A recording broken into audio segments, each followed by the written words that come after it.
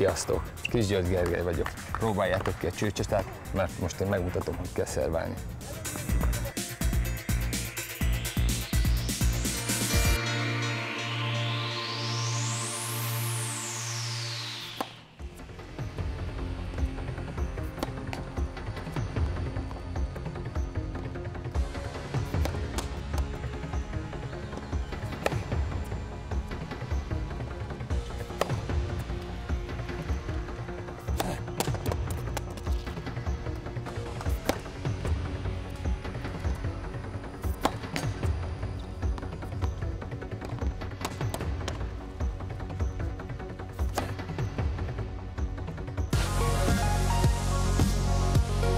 György Gergőnek négyet sikerült eltalálni. Te mennyit tudsz?